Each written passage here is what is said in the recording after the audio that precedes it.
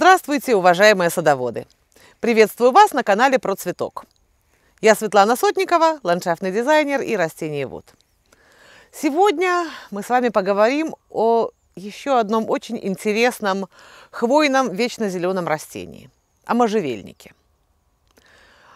И вашему вниманию я хочу представить можжевельник скальный. Можжевельник скальный вы можете видеть за моей спиной. Это вертикально растущее растение. Это можжевельник дерева. Вы знаете, что есть можжевельники-кустарники, стелящиеся растения. Скальник, так называют его, растет вверх. Имеет голубую, достаточно яркую хвою. Может высаживаться в качестве живой изгороди. Может высаживаться в одиночных или групповых посадках. В любом случае, это растение, которое украсит ваш участок и придаст э, именно зимнему пейзажу какой-то яркий цвет. Серый, серо-голубой, сизый, в зависимости от сорта можжевельника скального, который вы выберете. За моей спиной можжевельник скальный сорта Skyrocket, небесная ракета – он достаточно объемный, он больше метра в ширину. И расти будет до 8 метров и выше. Есть очень похожий сорт. Сорт Blue Arrow. Наверное, то, что я сейчас назвала, это самые популярные у нас сорта можжевельника скального. Blue Arrow, голубая стрела, он точно такой же, но уже, намного уже. Фактически до 40-50 сантиметров толщина взрослого растения. Я вам могу сейчас показать саженец можжевельника сорта Blue Arrow. И посмотрите, какой он маленький и тоненький. По мере увеличения роста в толщину он увеличиваться будет не сильно.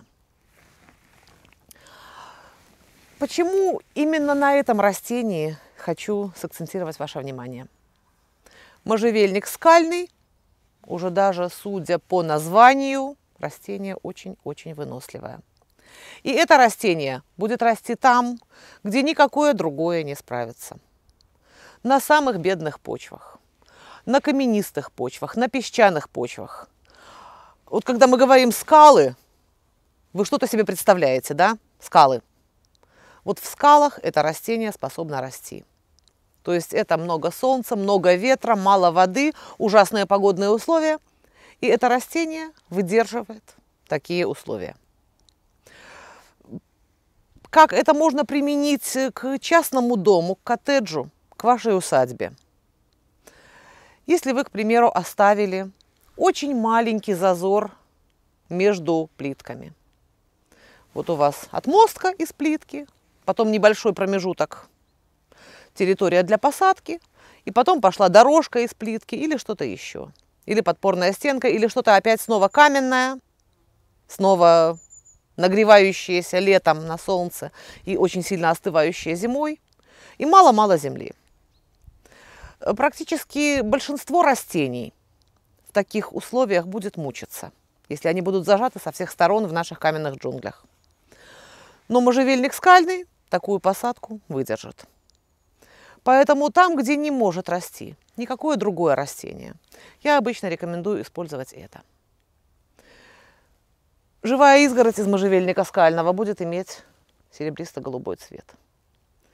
Можжевельник скальный в посадке групповой, именно как растение высокое, он тоже очень хорош, потому что с точки зрения ландшафтного дизайна нужно заметить, что то, что светлее – оно воспринимается нами как более легкое, и оно должно, должно находиться в верхней части композиции.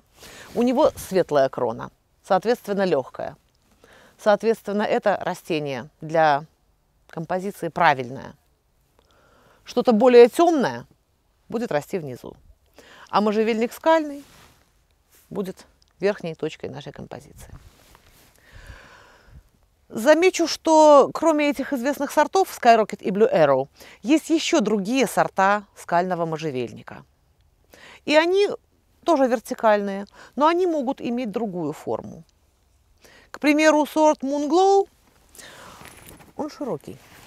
И даже на маленьком саженце видно, что этот можжевельник, он не узкая колонка, он пирамида.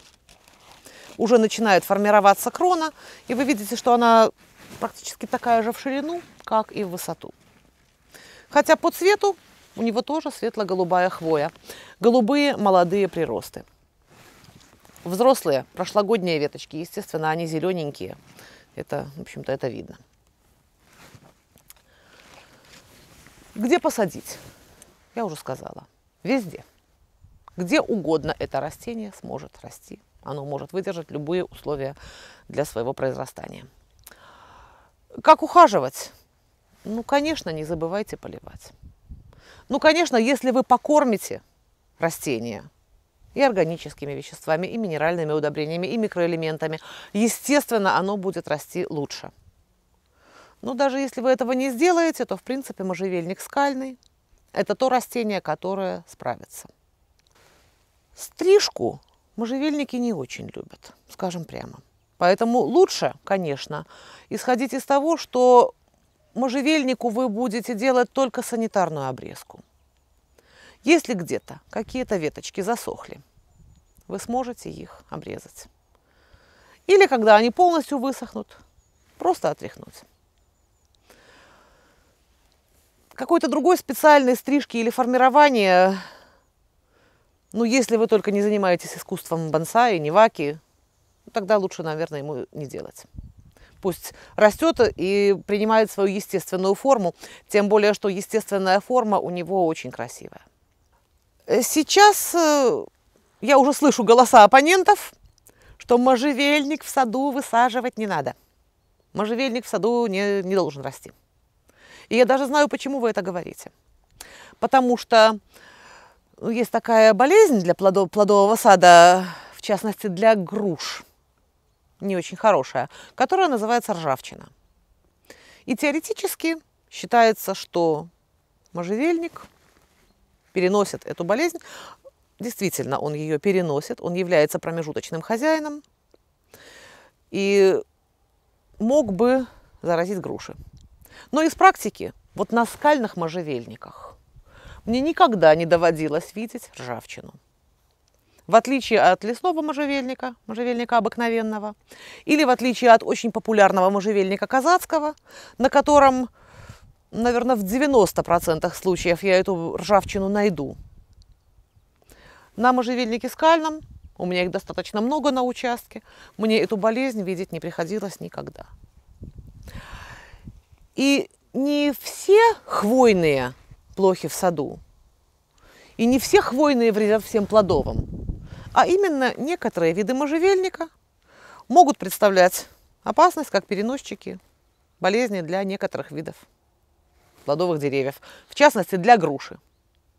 Но это совсем не значит, что если у вас есть груши, то вам не нужен можжевельник. Потому что болезнь ржавчина – это грибковое заболевание, переносится спорами, и 5 километров, 50 километров для него не расстояние. И даже если ваш личный можжевельник прямо под вашей личной грушей сидящий вдруг заболеет, вы можете просто-напросто обрезать с него заболевшие веточки и таким образом его излечить, оздоровить. И совершенно это не означает, что споры с него попадут именно на вашу грушу. Они улетят куда-то дальше.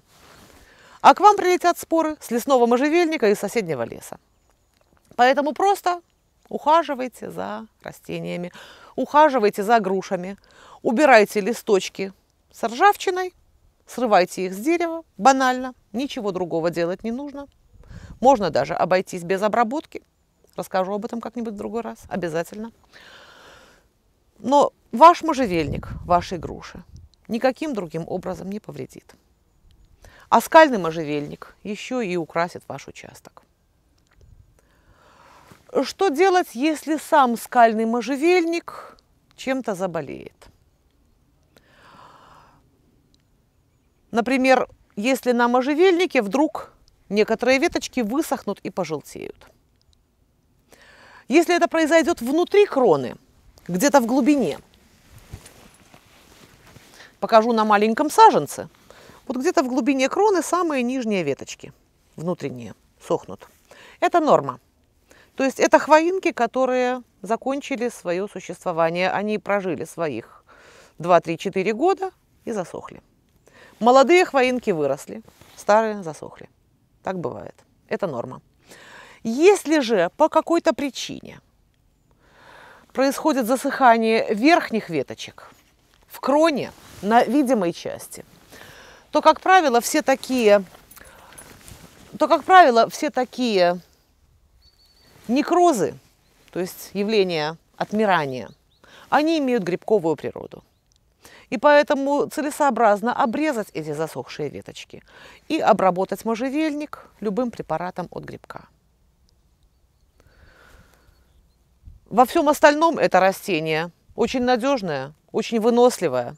И вы будете рады, когда оно вырастет, приобретет свою здоровую, красивую форму и станет э, настоящим украшением вашего сада. Благодарю за внимание.